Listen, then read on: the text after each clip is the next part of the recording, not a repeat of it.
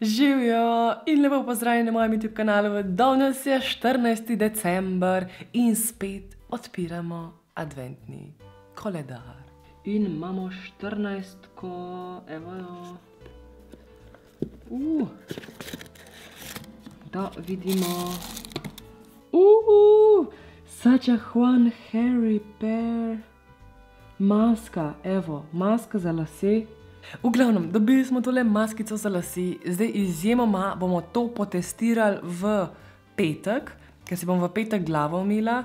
To bo pomeni, da bomo zdaj odprli še kakšna prejšnja darila, ki pač nimamo odprtih. Enka, dvojka, devet, deset, enajst, ful jih nimamo odprtih. Najbolj, da gremo kar od začetka in potestiramo enko pa dvojko. Yes, evo, poglejmo enkico.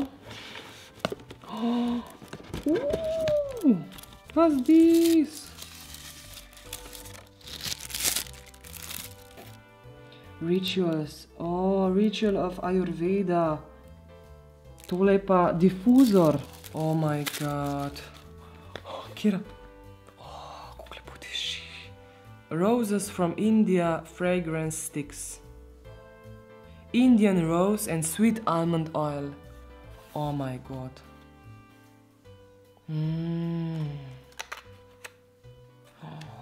O, kako lepo. Mhm.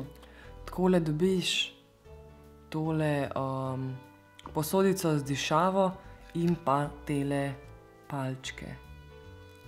Vedno je fajn, če ti kaj lepo dišijo.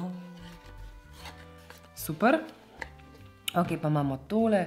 Zdaj pa poglejmo še dvojkico. Dvojkica. Uh, minika. Poglejmo, kaj je v tej miniki. Uh, evo, Drunk Elephant. Polypeptide cream.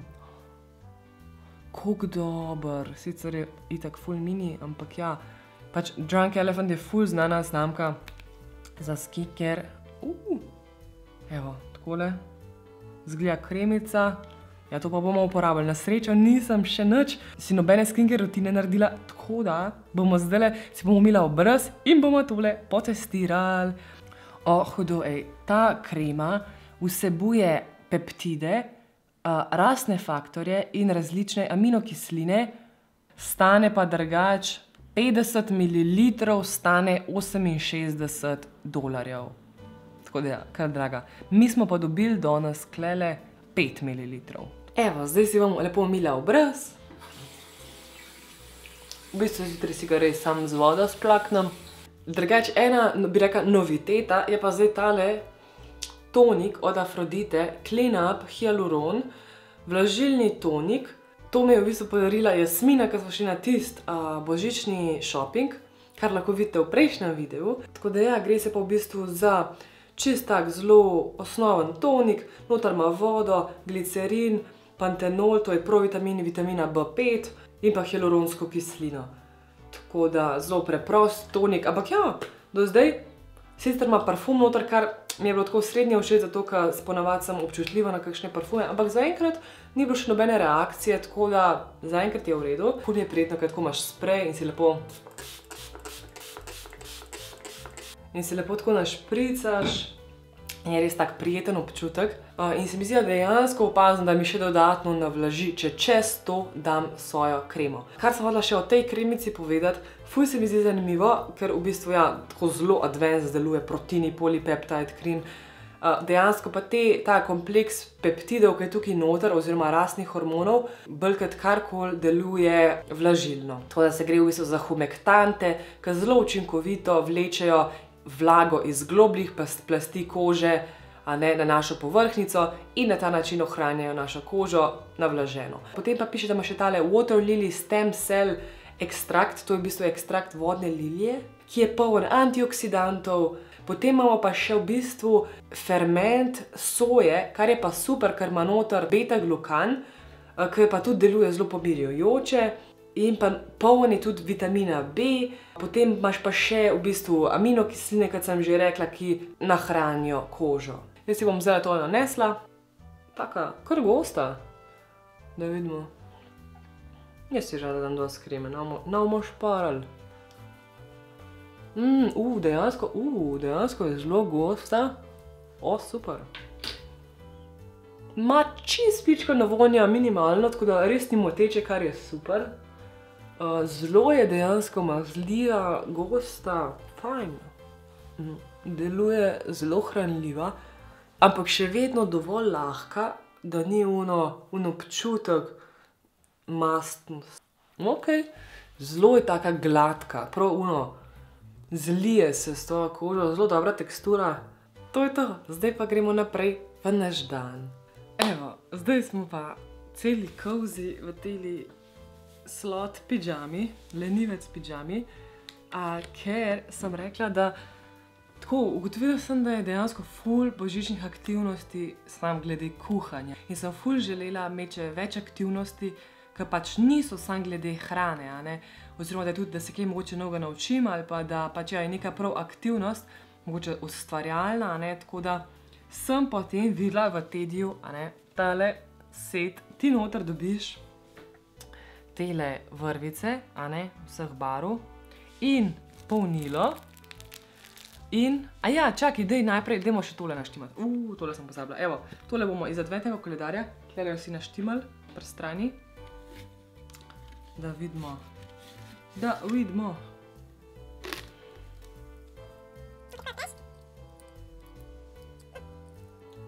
Evo.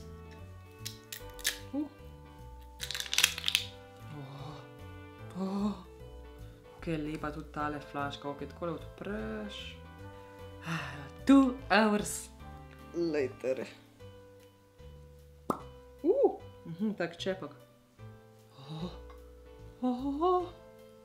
Evo, in daš elastike dol. In pomočeš palčke noter. V bistvu je fora, da pol je fora, da se v bistvu to olje tako gor po tej palčki premika in pač sprošča v v zrak to dišavo. Tako da ja, jaz sem to že enkrat odprla, ampak ja, to je tako ful težko. Pa ne samo to, pač jaz sem, mislim, itak nisem predvidevala, da bo tako težko. Pol pa pač sem tako, no, saj bodo pa vsaj navodila dobra, a ne.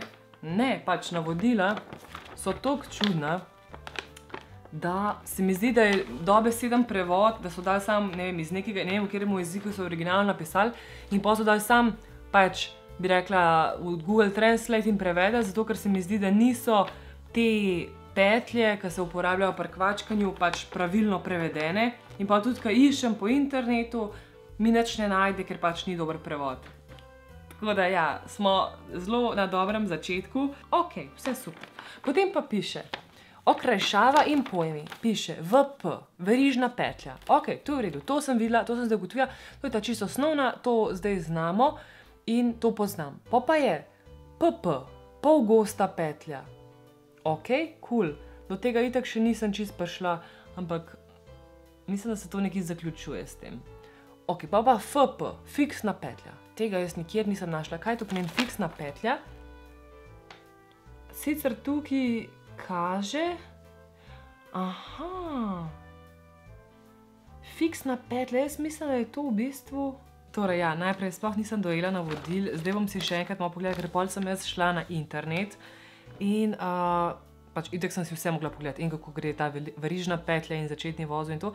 Pol sem našla pa en video, kjer govori o, v bistvu, kako kvačkati krog, a ne, ker pač jaz iz tukaj nisem razumela. Glavnem, situacija, zdaj imam pa tako, a ne, fora je, da sem najprej naredila neki tak krog in to je šlo, a ne. Pol pa zdaj pa jaz v bistvu po tem videu ne delam po moje istih vozov, ker tukaj jaz imam kar luknjico, a ne. Tukaj pa naredi tako, da nima luknjice na glavi, nekako tako skupaj potegne. Tako da zato bom jaz po moje bolj še enkrat probala, ampak ja, zdaj za foro delam malo drugače, kakor je v tistem slovenskem videu bilo, ker pač vse nastaja taka okrogla glavica, ne. Pač je pa ful zoprno, ker dejansko je ful tanka tale vrvica in tudi tako se ful hitro kar razplete, kako bi rekla.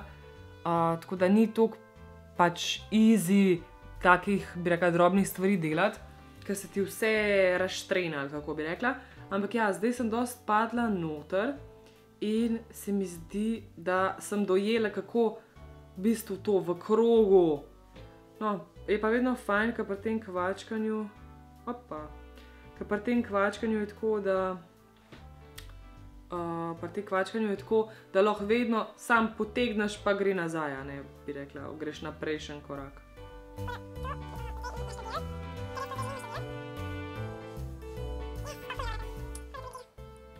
Lej, ful mi je dober, oh moj bog, ful mi je dober, atal. Tale. Ah. Ful mi je dober, klele. klele. Uuu, kul. Pol kar dobiš feeling, no pa kar gre. Vzameš noter. Oh moj bog, mislim, da sem našla končno en video, ta slovenski, ki točno po tem principu, zdaj sem še dojela, ki točno po tem, ki imaš pač več vrst v bistvu tega kvačkanja v krogu, a ne. In zdaj sem našla ta način, ki se reče očitno po angleško magic ring. In v glavnem, vam bom jaz zdaj to pokazala, bomo zdaj to probali narediti, potem jaz sem zdaj vse razparala, ampak se je bilo dobro, da sem se malo pač, da sem malo tega občutka dobila.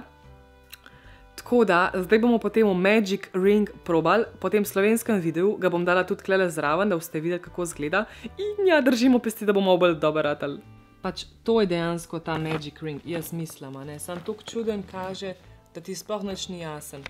Ampak to je ta fora, da v bistvu imaš krog, okrog katerega boš pol kvačkal, a ne. To bomo zdaj naredili. Takole, zdaj pa kar začnimo z delom. Krog iz niti se naredi pa tako. Seveda prikaz je za desničarje. Um, torej, tale repek, ki štrli pri preji, ovijemo tako okoli dlani, okoli štirih prstov, tako da repek gleda v levo stran. Potem pa ovijemo okoli štirih prstov, takole v desno smer, da dobimo kot en krogec. Dejansko dobimo krogec iz niti. Uh, pomembno pa je to, da na tem zgornjem delu imamo dve nitki, ne, ki bosta hkrati vse čas, vse čas se bo kvačkalo okoli njiju. Zdaj pa, ko imamo to narejeno, gremo s kvačko v krogec in zajamemo ta dolgi del preje in potegnemo tako gor, da dobimo eno tako zankico. Začetek je zelo težek, ker je vse narejeno zelo narahlo, pa zelo tako neopremljivo. Je težko, težko karkoli primaš in ti fiksno stoji, potem naprej pa lažje. Ja, ne, meni nič klene še ne stoji. Kako? Meni to nič ne stoji. Grem ven. Okej, No, pa nazaj. je to, da vedno gremo v bistvu v tale krogec. Zakaj ni to nekaj stoji? Ampak vedno preko obeh teh zankic.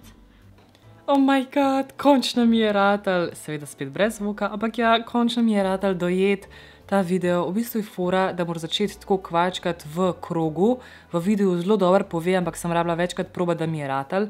Uh, in potem sem jih mogla torej šest teh vozličkov narediti. In point tega Magic Ringa je pa to, da ti pa za to kratko vrvico potegneš, da se te vozlički skup potegnejo v krog in na ta način ni tiste lukance v sredini, in potem na to ti pleteš navzven. a ne. Evo, in to je bilo to za ta video. Upam, da ste uživali, vem, da mogoče deluje, da se nič nismo premaknili, ampak zdaj je to ful kot začetnika, da sem pa sploh dojela, kjer tip kvačkanja, kjer tip videa lahko gledam, oziroma kaj sploh moram početi, da bom to skvačkala, ker je bilo res bedno, da mi ne bi uspeli, da bi kar pustila in da ne bi imela te luškane figurice. Verjamem, da ne bo tako easy in da bom mogla še zelo veliko ur vložiti v to. Zdaj bom jaz to malo sama delala in v pol nekako sprot poročamo, bi rekla, napredku. Mogoče to koga spodbudili, da začne kvačkati, ali ste pa samo uživali ob videu. Tako da to je bilo to, hvala, da si bil z mano in se vidimo k malu. Ciao。